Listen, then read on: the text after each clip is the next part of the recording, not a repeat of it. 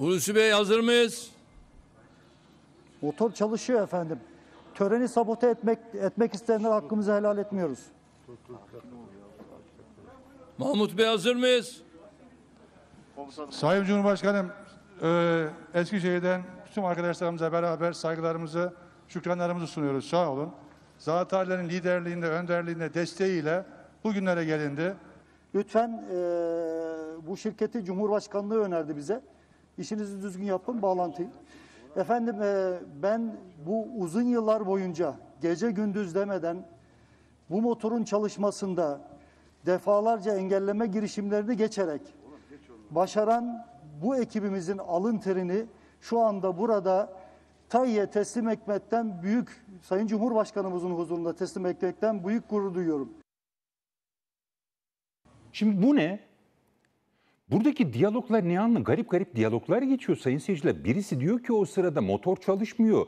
Öbürü diyor ki sabote etmek isteyenler mi var diyor. Motor çalışıyor diyor. Göster görüntüyü gösterin diyor ya. Yani rejiye talimat veriyor konuşan kişi. Niye görüntüyü göstermiyorsunuz bizim ekibi vesaire? E, Biz Cumhurbaşkanlığının tavsiye ettiği şirkette çalışıyoruz. Yani Cumhurbaşkanı tavsiye ettiği şirket dediği bu canlı yayındaki o prodüksiyonu gerçekleştiren şirket. Yahu bir törende hangi şirketin, hangi prodüksiyon şirketiyle çalışılacağını artık Cumhurbaşkanı yani daha doğrusu artık demeyelim de herhalde değil mi Mehmet abi bir süredir orası bu demek ki o, o, o- oradan İletişim belirleniyor Başkanlığı yani. Televizyonlarda hangi programların yapılacağını talimatı bile gidiyor. Boş. Kimlerin çıkacağı, kadar Allah Allah. kimlerin, Konuk kimlerin çıkacağı kadar tabii. geldi. Ya yargı Hangi konular konuşulacak? Ama şimdi çok ilginç şeyler var. Bakın e, diyor ki e, şey e, TEİ e, Genel Müdürü Akşit töreni sabote etmek isteyenlere hakkımızı helal etmiyoruz diyor. Şimdi orada bir ses duyuluyor. Motor çalışmıyor diyor. E, Halbuki çalışıyor da evet, sesini Akşit vermemiş. diyor ki hayır diyor motor çalışıyor diyor. Töreni sabote etmek isteyenlere hakkımızı helal etmiyoruz diyor. O sırada çok ilginç görüntüyü de buraya getirelim e, sevgili yönetmenim. Hulusi Akar devreye giriyor. Şimdi Hulusi Akar orada e, nasıl bir jest yapıyor e, hep birlikte görelim. Şimdi burada işte video konferans yoluyla gerçekleştirilen bir açılış. toparlar. E, hazır mıyız deniliyor. Ondan sonra burada bir şeyler oluyor. Belli ki burada prodüksiyonda bir sıkıntılar var. Motor çalıştı mı çalışmadı mı görecek miyiz, görmeyecek miyiz e, motoru gerçekleştiren ekibi falan. E, o esnada tabii sözlerinin de hani o, o sırada sözlerinin yansımadığını düşünemez konuşan kişi çünkü biliyor. Yani Cumhurbaşkanı'ndan sözü Tabii, alıyor anlıyor. ve konuşuyor. Dolayısıyla sözün yansıdığını biliyor.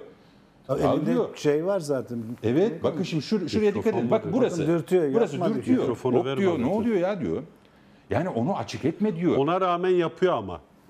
Ay o Cesur esnada şunu davranıyor. söylüyor. Onu kaçırıyor Biz lafı. diyor Cumhurbaşkanlığının tavsiye ettiği şirketle e, çalıştık diyor. Sabote etmek isteyen var derken o sırada Hulusi Akar e, dürtüyor. O Bununla dürtmenin başına anlamı bir ne şey olur gelir. Gürsel Bey? Niye dürtüyor? Yani sö- söylememek Acaba hangi şirket söylemiyorlar? Şimdi mesela e, s- sadece bu değil. Bundan önce e, birkaç şey hatırlatmak istiyorum. E, Peki bu- siz onu hatırlatmadan önce bu konuyu Utku Çakır Özel meclise taşıdı. Ben onu da duyurayım çünkü haberi tamamlayayım. Şimdi diyor ki Utku Çakır, Çakır Özel bu töreni, Eskişehir milletvekili Evet. olarak tabii. Bu Ev töreni- sahibi olarak. evet bu töreni ya da bu projeyi sabote etmek isteyen kimlerdir? Evet. Soru ortada. Ben de onu soracağım. Soru bu. Evet bu motor var mı? Çalışıyor mu? Eğer çalışıyorsa canlı yayında neden gösterilemedi? Canlı yayından sorumlu olan şirket kimdir? Cumhurbaşkanlığı önerdi denilen şirketin sorumluları kimlerdir? Cumhurbaşkanlığı törenlere neden TRT ya da Anadolu Ajansı yerine canlı yayınlar için özel bir şirket zorunluluğu getirmektedir? Bu şirket bu tören için TEİ'den ne kadar bedel almıştır? Şirkete Cumhurbaşkanlığı bütçesinden ödeme yapılmış mıdır? Son 5 yıl içerisinde ne kadar ödeme yapılmıştır? Bakın son 5 yıl içerisinde ne kadar ödeme yapılmıştır? Bu şirket Cumhurbaşkanı Erdoğan'ın katıldığı törenlerden kaçının sorumluluğunu üstlenmiştir? Utku Çakır Özer nihayetinde siyasetçiden öte bir gazeteci, çok tecrübeli bir gazeteci ve bu soruları koymuş ortaya. Ama Mehmet Tezkan da söyledi, bakalım dedi o sorulara yanıt gelecek Bence mi? vermez. Cevap vermezler. Yani Kim öyle bir tahmini? mik- vermezse ne olacak? Hiç gelmiyor Ne zaten bize sen? can. Sen kimsin? E, Tabii ya sen bizim- kim? Niye bugüne soruyorsun? kadar Milletvekiliymiş. Ne soruyorsun? Kale bile almayacak. Geçerler yani. Ne olur? Yani Hale bile Osman Bey, bu- almayacak. yani Türkiye'deki bütün büyük projeleri 5 tane müteahhitin çevresinde döndüren bir e, siyasi iktidar zaten bunu yani Ne bu bu? çok Basit detay bir şey. kalıyor. Ya Evet, şimdi hani- koca varlık fonunu niye Çok kurdular basit, ki? tabii, tabii, çok Büyük basit. varlık fonu Şimdi- gizlilik için kuruldu. Abi bu İzin çok- bu verirseniz basit. Estağfurullah. yani biz biraz kendimizi yoruyoruz. Öyle gözüküyor. Ee, Sayın Erdoğan bu sistem 50 artı bir sisteme geçmeden önce dedi ki ya dedi bu ülke dedi şirket gibi yönetilmeli.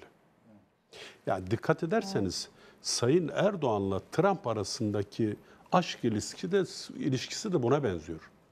Ya Trump'a bugün kızıyoruz, bağırıyoruz falan ama Trump son 3-4 yılda Amerikan ekonomisini en çok büyüten adamdır. Nereye gittiyse bir şey sattı kardeşim. Gürsel Bey bir şey rica edeceğim. Siz siyasetçisiniz. Siyasetçilerin söylemi e, doğal olarak bir takım metaforlar içeriyor. Ama bu metaforlardan bu sırada kanallar ve biz de İtiraz dahil olmak üzere tabii ama biraz... kötü bir şey söylemiyorum. Yani siz öyle düşünebilirsiniz Sayın ama de Erdoğan'ın şey kendi. Yani oradaki aşk cümleyi ilişkisi söylüyorum. derken e, aralarının iyi olması anlamında Elbette politik yani e, dostluk bağlamda. Evet. ilişkisi canım yani ikisi de erkek Evet, çok o kadar değil söyleyeyim. de. Onu herkes anlar. Şimdi Buradan oradan da şuraya başka gelmek saldırırlar istiyorum. Gürsel Başkan. Şimdi mesela geçmiş dönemdeki iktidarlarda e, özellikle kamuda çalışanlarla ilgili böyle e, dürüst davranan işte e, kamu adına davrananlar hep ödüllendirilirdi. Şimdi bak mesela. Şimdi onun için bu gariban adam başına ne gelecek onu e, dikkatle takip ediyorum. Bir, Gezi döneminde e, vicdanlı, haysiyetli bir adam olmamış bir şeyi önce haber yaptılar ve olağanüstü bir baskı kurulmasına rağmen Fuat Hoca dedi ki hayır kardeşim ben böyle bir şey görmedim dedi ve İçki toplumsal barışımıza olağanüstü bir katkı sağladı. Şimdi bir normal bir iktidarın bunu Diyanet İşleri Başkanı yapması lazım bu adam. Memur Teoman hatırlayın. Yani bir 25 yaşında bir adam bakanları bağlamış, genel müdürlükleri bağlamış, her yeri bağlamış. Ama sıradan bir memura lafı geçmiyor. Hatta telefon konuşmasında yani onun işlerini organize eden adama diyor ki ya bir memura gücünüz yetmiyor mu kardeşim yani? Adam da haklı ulan.